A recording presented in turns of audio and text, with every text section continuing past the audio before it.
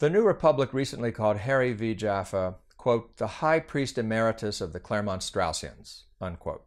To which Harry, aged 93, would surely reply, Emeritus?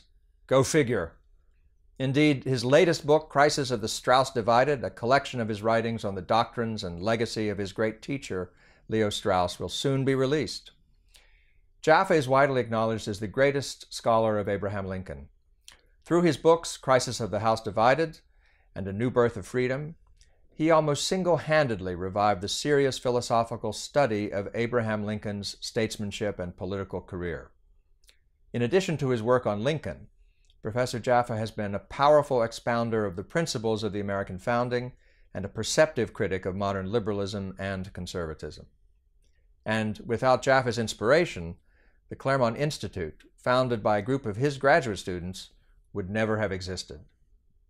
In our wide ranging dialogue in these episodes of The American Mind, Harry and I discuss the American founding, the Civil War, the intersections of classical political philosophy and modern politics, revealed religion, and the meaning of life.